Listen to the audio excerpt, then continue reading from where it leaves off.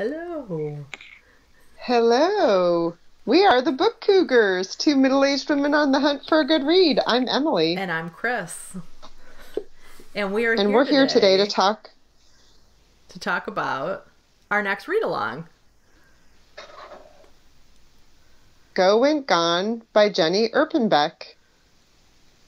And this is a book in translation, right? Which is one is one of our what the, what we've decided is our goal for our four read-alongs this year. So she's considered one of the most, I hate to use the word important, but one of the most influential, impactful European writers, uh, especially in Germany. She's from Germany. So we are looking forward to this. Now, where did you Yeah, get yours? Yeah, so I got mine when I was in um, Arizona, which seems like a lifetime ago now. Yeah. I was in Prescott, Arizona at the Peregrine Book Company.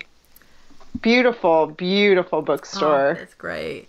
Lovely logo. Yeah, and I was really excited to find it because we had just decided what our read along was going to be, I think. Mm-hmm. So, yeah.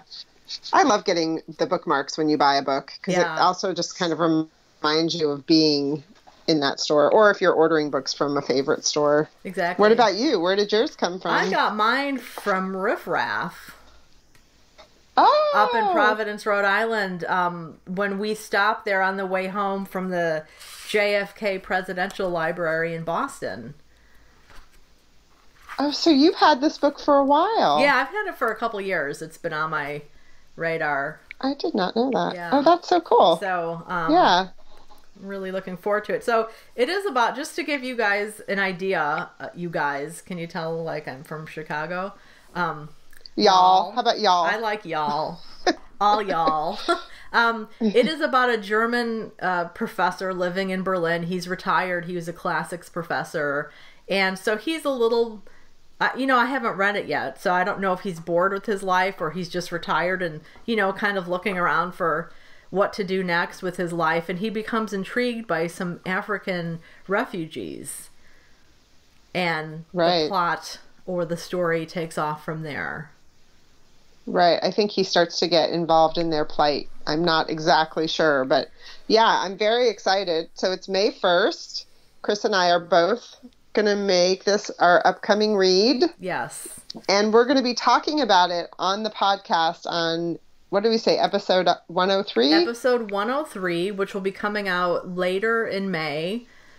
And if you are interested in contributing your comments or questions to us to discuss on that episode, I think May 22nd, if you can get us any emails or social media comments by May 22nd, we'd love to include your thoughts and comments and questions.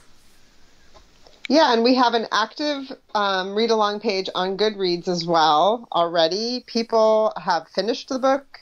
They're, you know, reading the book. So we would love for you to join our Goodreads page and uh, make comments there as well. And and I think um, our buddy Robin Robin posted a YouTube video of the author being interviewed as well. So that's something I always like to watch those things after I read Yeah. the book. So I'm really looking forward to checking out that video once I finish. Yeah, I had just asked Robin whether that should be watched before or after you read the book. It's um, it's a talk she gave uh, at Harvard. I had just started watching it this morning, actually, so it's great that you mentioned that. Because Claire Messud, uh, I think that. Oh, I love her. She's the one who does the introduction. Yeah. So I thought, you know what? Well, for one, I had to stop watching to get online with you, um, but then I thought maybe I should wait because I. I don't like to know a ton about a book before I start reading it, so we'll see Yeah. what Robin has to say. So check out uh, her answer on Goodreads. Yeah, yeah, I'm very curious about that as well. But I, I usually like to, I, I usually finish a book and then right away get online, look up reviews, look up interviews and things like that. But we'll see what Robin says because Yeah. maybe there's a reason to watch this one ahead of time. You mm-hmm. know, I think it depends on how spoilery their talk gets. You know, Right, exactly. So- Yeah, sometimes it's good to listen before, but I don't like spoilers. Yeah. Yeah. Now, I will say some of the feedback on our Goodreads page about this is that the beginning part of the book is a little tricky to get through, but once you get through it, it really moves. Mm-hmm. So it could be that if you're kind of struggling, if you started it and you're struggling, watching the YouTube video might give you some, you know, inspiration to keep moving. I don't know because I haven't watched the video. So. Yeah. we'll see. yes, that's right. Well, we're really hoping that people join us. We love to hear what people have to say with our read alongs. so, like Emily said, we right. hope that you'll join us for this read along. We're really looking forward to it. Yeah. And we have to go because we have to go read. The book calls. Bye, everyone. Yes, that's right. Bye. Thank you.